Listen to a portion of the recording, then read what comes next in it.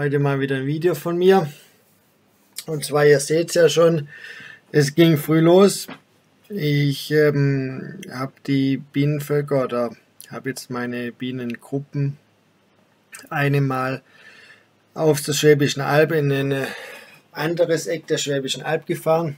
Einfach darum, weil der Raps einfach dieses Jahr brutal schnell verblüht ist. Also er ist unheimlich nach oben gewachsen. Es hat das Wasser gefehlt.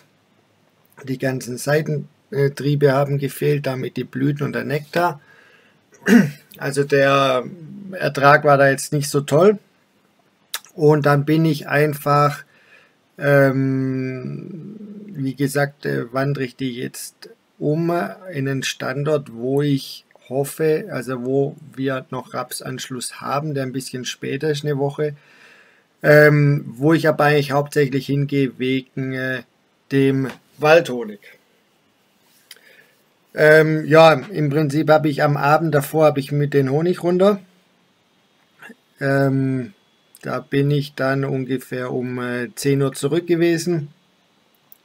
Bin dann heute früh um halb äh, vier los habe hier, wie wir sehen, mit dem Abilift die Bienen geladen. Wieder im Prinzip die ganze Gruppe mit, äh, mit 30 Stück. Da brauche ich ähm, ja, so eine Stunde. Ne? Also die, ähm, man sieht es auch, ich habe die relativ leer gemacht. Also die sind relativ leicht. Also die, die Schwächeren in der Gruppe, ähm, äh, wo in dem Fall jetzt gerade nur ein Honigraum haben, die sind wirklich total easy zu laden gewesen, weil ich wusste ja, wir bekommen 25 Grad an, äh, an dem Tag und ich fahre sie wieder an den Standort einfach mit, ähm, mit Raps und mit Blütenanschluss, also so dass genau an dem Tag auch wieder was reinkommt. Deshalb habe ich sie relativ leer gemacht. Prinzipiell sonst ist es ja so, dass ich mindestens äh, zwei bis vier Kilo drinnen lasse, einfach um die, die Futterversorgung zu gewährleisten.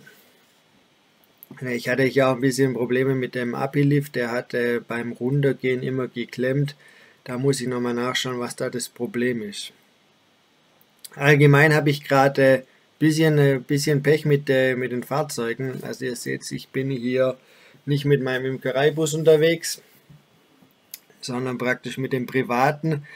Das Ganze hat einfach den Hintergrund, dass ähm, bei meinem Imkereibus äh, die Kupplung sich langsam verabschiedet und da wollte ich ihn jetzt nicht vor dem Hänger malträtieren, vor allem weil das eben ein, ein Bienenstandort ist, ja, wo ich kein Allrad brauche. Da kann ich äh, gut wegfahren und bei dem anderen wusste ich, da kann ich auch ähm, total gut hinfahren. Ja, dann ging es eigentlich so ähm, früh morgens über, über die Schwäbische Alb. Ne?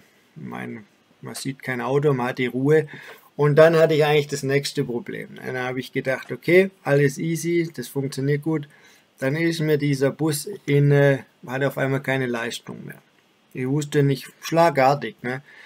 Ähm, ich bin dann so mit, mit zwischen 20 und 30 über die Schwäbische Alb gezuckelt, ähm, weil er vorher schon schlecht anging habe ich auch gedacht, ich starte nicht neu, fährst mal weiter und hatte halt ein bisschen Sorge, ne, es, es sollte voll warm werden. Ich musste ja die Bienen irgendwie wie an den Standort bringen und bin da halt mal weitergefahren. Ne. Das war für mich so eine Stunde zu fahren. Davon bin ich eine halbe Stunde gezuckelt und dann ging es auf einmal wieder tipptopp. Ne? Also wirklich ganz äh, komisch. Ein bisschen Aufregung, aber hat ja funktioniert. Seither läuft er wieder ganz gut. Muss man mal nachschauen. Also hier ähm, der neue, neue Standort, äh, wie gesagt, hauptsächlich für mich interessant ist äh, der Wald hier. Ähm, klar, den, den Raps äh, super, ist, ist, ist auch super schön. Den, äh, den nehme ich noch mit, vor allem weil jetzt ja kein Pflanzenschutz mehr betrieben wird in diesem Stadion. Und ähm, da, da, stehen die jetzt. Ne? Ich habe sie abgeladen, ich habe dann am Abend davor nicht die ganze Gruppe geschafft, die Schwarmkontrolle zu machen. Also ähm, das Video bin ich euch immer noch schuldig, also das mache ich noch, aber ähm, ich fahre gerade eigentlich jeden Abend äh, so eine Gruppe und deshalb komme ich da gerade nicht so dazu. Ihr werdet es mir nachsehen. und habe dann im Prinzip abgeladen, die restlichen Völker die Schwarmkontrolle gemacht. Bin dann äh, heimgefahren und dann ging es natürlich an Sonicschleudern schon mal. Ja, die haben sich auch, auch gleich äh, super schön, äh, schön eingeflogen. Man sieht es jetzt hier in der Bildmitte, es kam auch ein, äh, ein Hase vorbeigehoppelt, der hat sich das, das Ganze angeschaut. Und ist im Prinzip die ganze, den ganzen Bienenstand abgelaufen. Hat ihm, äh, also fand er wohl interessant, er war jetzt nicht scheu, ist einfach seinen Weg gegangen. Ja, ansonsten, wie gesagt, zum Honigertrag ist es einfach so, ähm, im Raps war es trocken. Es wird auch, denke ich mal, beim Dreschen wirklich nicht toll. Es hat zwar jetzt ein paar Tage geregnet, aber das waren um die 30 Liter, also das ist auch äh, viel, viel zu wenig. Beim Wald habe ich jetzt äh, einige Läuse gefunden, ähm, also da bin ich eigentlich relativ äh, zuversichtlich. Ja, jetzt ähm, werde ich mich noch um die anderen, anderen Gruppen kümmern und dann hat es geheißen, geht es auch schon Ende der Woche wohl mit der Edelkastanie los. Also auch extrem früh für dieses Jahr oder extrem früh. Und dann werde ich da auch einen, einen kleinen Teil hinfahren. Und ähm, ja, so, so kommt gerade eins nach dem anderen. Die Nächte sind relativ kurz. Es gibt viel zu tun. Es gibt ja noch eine Datenschutzgrundverordnung, wo man, wo man beachten muss.